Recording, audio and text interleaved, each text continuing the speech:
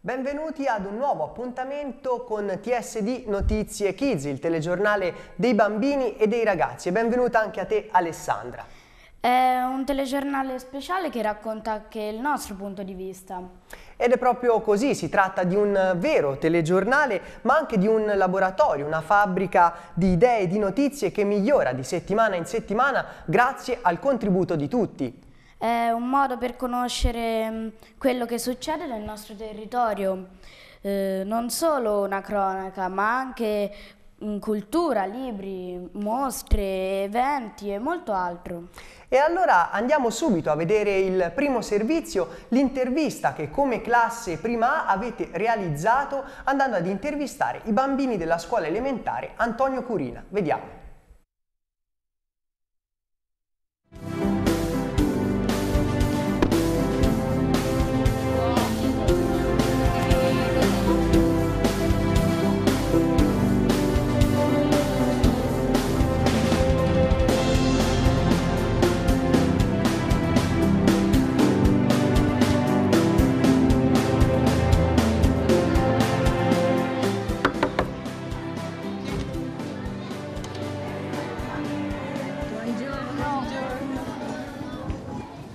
Noi ragazzi di prima media abbiamo deciso di intervistare i bambini di quinta della scuola Antonio Quirina per sapere come immagini il passaggio dalle elementari alle medie.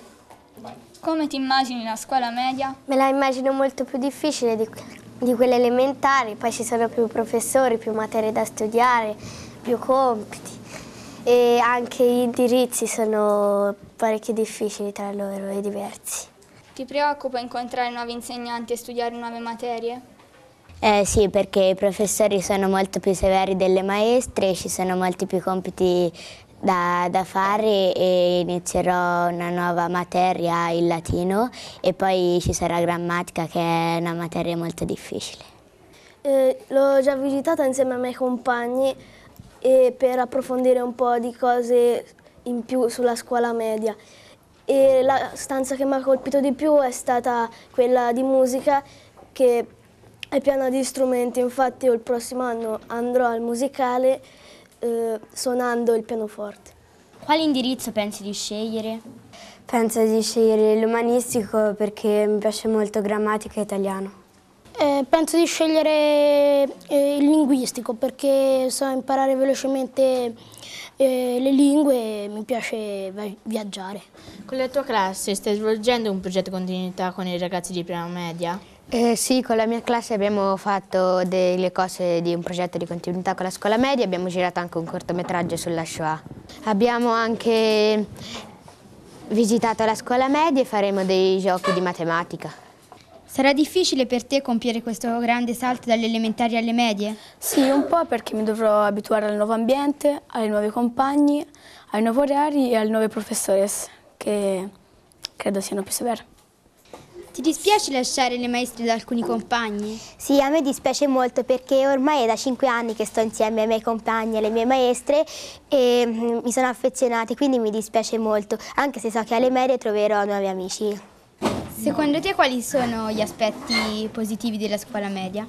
Uh, io credo che le insegnanti non siano così severe eh, perché da un momento all'altro ci abitueremo a loro e, e i nostri nuovi compagni di scuola credo che siano simpatici Fa eh, faremo molte gite eh, dove andremo in posti lontani a cui non abbiamo potuto andarci quando eravamo nelle elementari.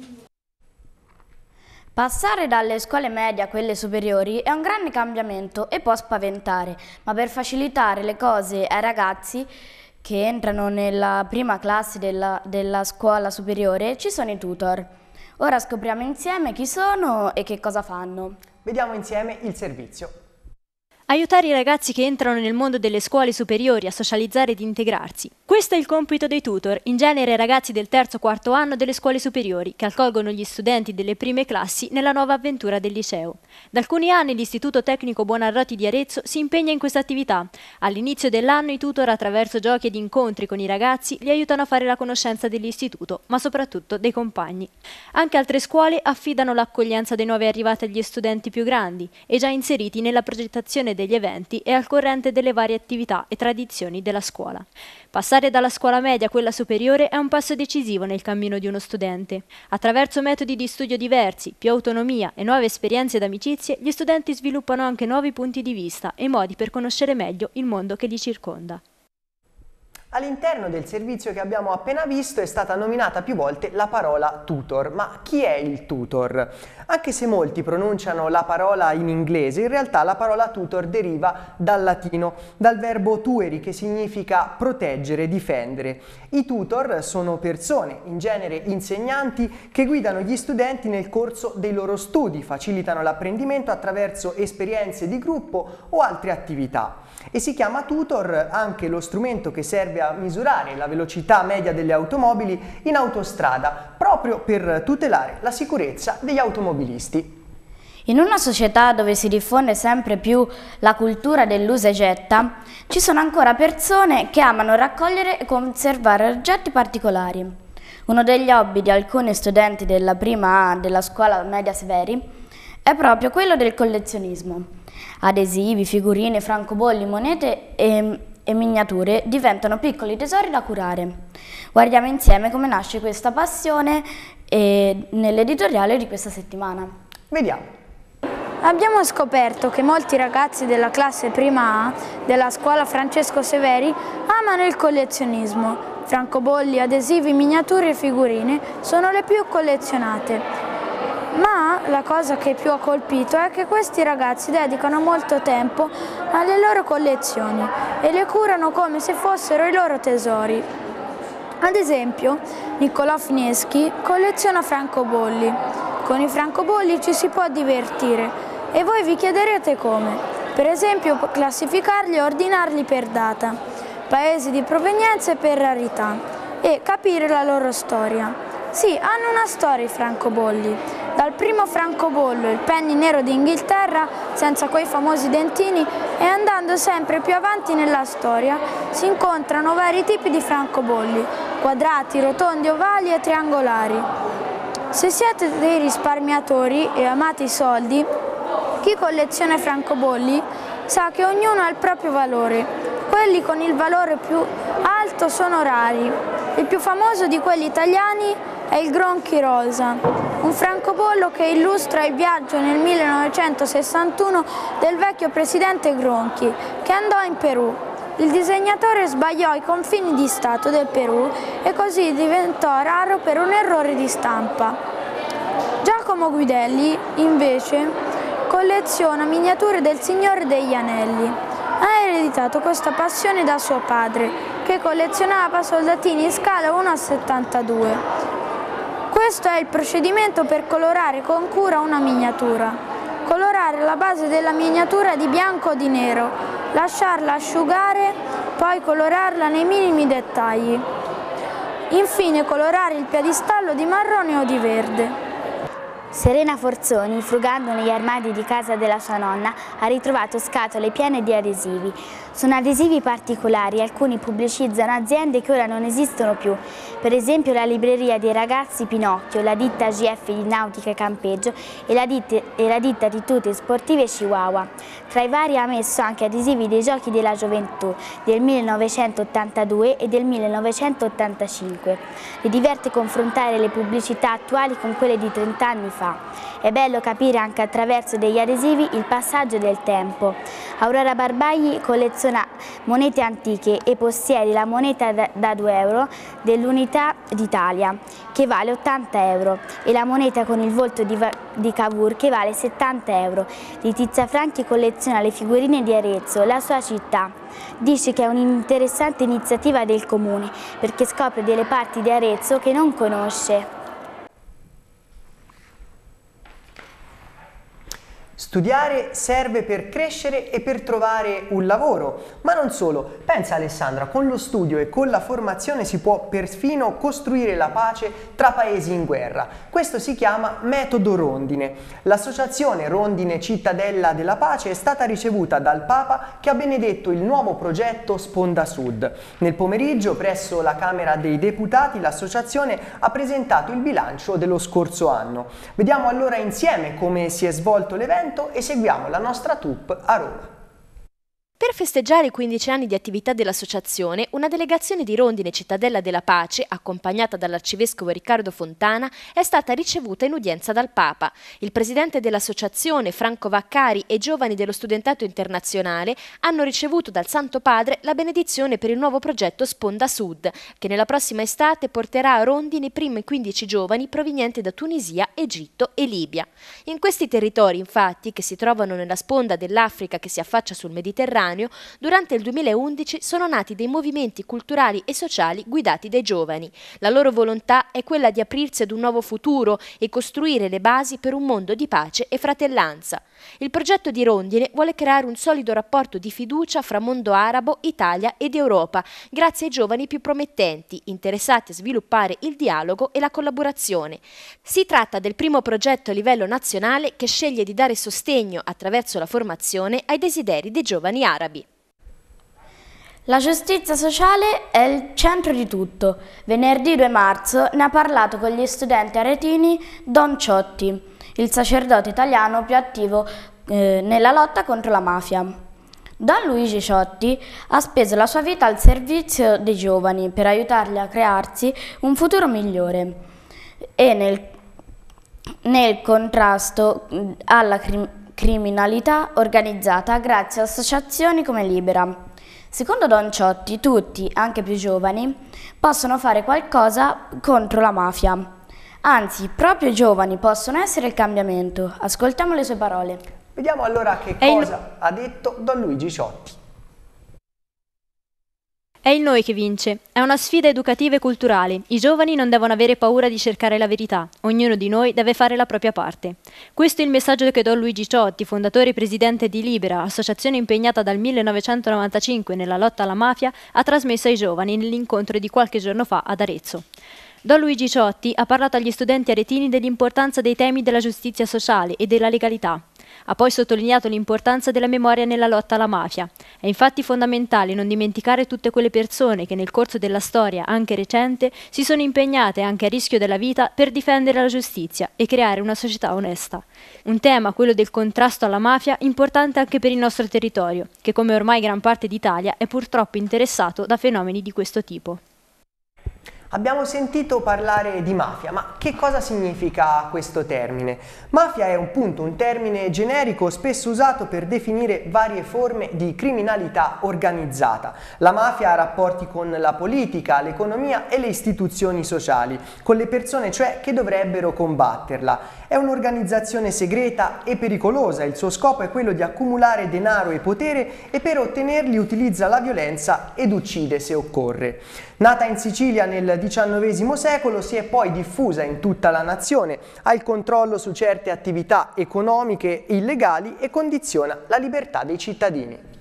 Anche i genitori tornano a scuola, è un progetto del comune di Arezzo, quello della scuola permanente per i genitori, per far riflettere babbi e mamme sul loro, sul loro ruolo e sul loro rapporto con i figli.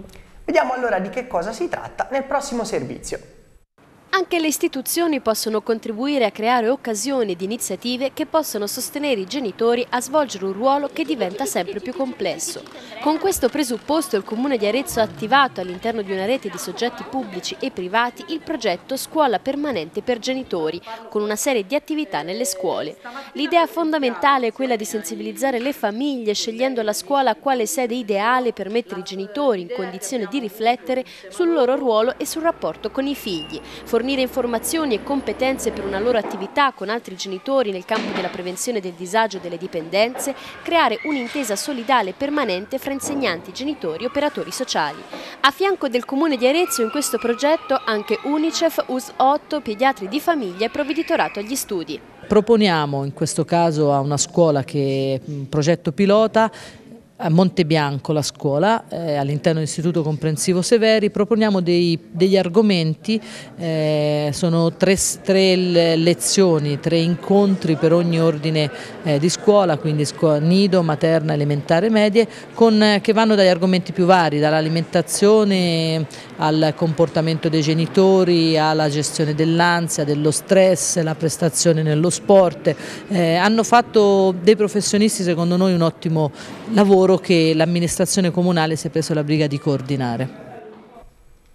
Castiglion Fiorentino parla tedesco. Sembra strano Alessandra, vero? È vero, ma parlamene dell'Istituto di Istruzione Superiore Giovanni da Castiglione di Castiglion Fiorentino hanno ospitato i coetanei tedeschi del liceo gemellato e li hanno guidati nella visita di città e luoghi importanti del territorio. Ma vediamo che cosa è successo nel dettaglio nel prossimo servizio. Si è conclusa con successo anche la seconda edizione del viaggio di formazione dei 22 studenti tedeschi del liceo Heichstadt a Castiglion Fiorentino, dove sono gemellati con l'Istituto di Istruzione Superiore Giovanni da Castiglione. Una partnership culturale, quella tra le due cittadine, che dura ormai da 15 anni e che da due si è sviluppata nella forma del gemellaggio.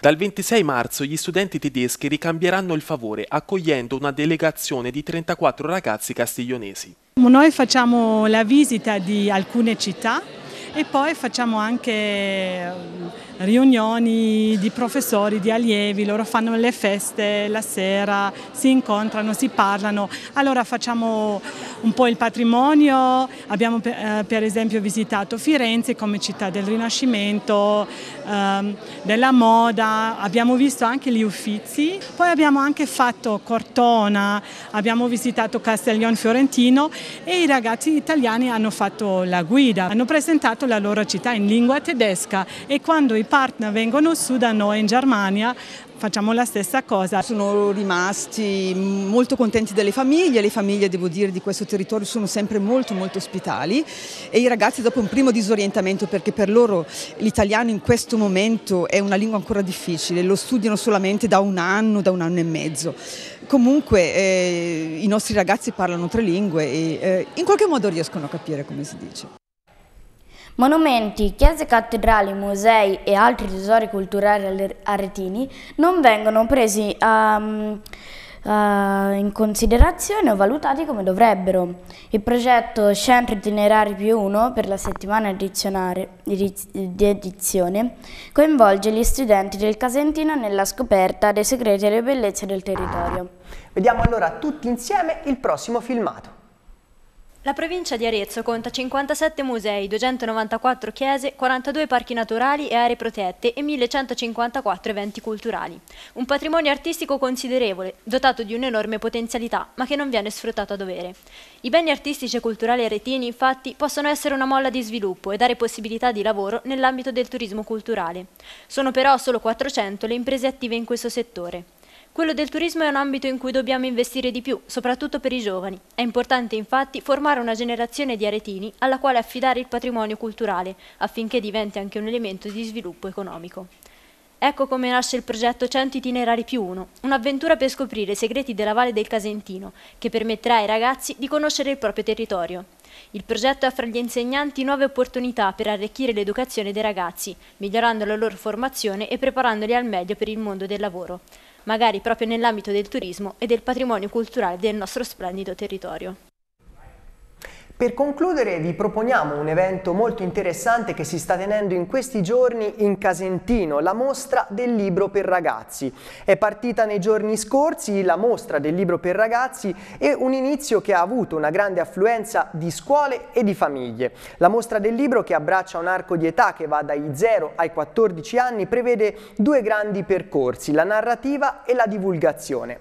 La narrativa è organizzata per età e per tipologia, cartonati, prime esperienze, albi illustrati, classici, poesia. Il settore della divulgazione invece è organizzato per argomenti, divulgazione scientifica, storica, manualità. La mostra è allestita presso il Centro Italiano della Fotografia d'autore in via delle Monache 2 a Bibbiena ed è aperta fino al 18 di marzo con il seguente orario, dal lunedì al venerdì dalle 9 alle 13 e dalle 15 alle 18, sabato dalle 9 alle 13 e dalle 16 alle 19. 19. Infine la domenica l'orario di apertura è dalle 16 alle 19. Questa era la nostra ultima notizia, siamo giunti alla fine del nostro telegiornale. Per segnalare progetti e iniziative potete scrivere a kids-tsdtv.it e continuate a seguirci anche su www.tsdtv.it. Grazie Alessandra e a voi tutti auguro un buon proseguimento con i nostri programmi.